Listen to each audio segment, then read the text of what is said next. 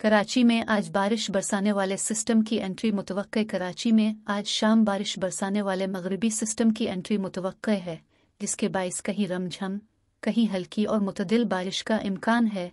बारिश का ये सिलसिला बुध की सुबह तक जारी रह सकता है। बारिश बरसाने वाले सिस्टम का एक हिस्सा सिंध के कोस्टल बेल्ट के ऊपर से गुजरेगा। सिस्टम का दूसरा हिस्सा मुल्क के बालाई हिस्सों पर बारिशें बरसाएगा। जबकि एक नया मगरबी सिलसिला दो फरवरी को बलूचिस्तान में दाखिल होगा। महकमा मौसमियात के मुताबिक कराची में सर्द मौसम, ठंडी हवाओं का राज है और मतला अब आलूद रहेगा। आज कम से कम दर्जा हरारत तेरह अशारिया पाँच डिग्री सेंटीग्रेड रिकॉर्ड किया गया है। कराची का मौजूदा दर्जा हरारत 16 डिग्री सेंटीग्रेड और हुआ में नमी का तनासब सतावन फ़ीसद है। शुमाल मशरक से 6 किलोमीटर फ़ी घंटा की रफ्तार से हवाएँ चल रही हैं।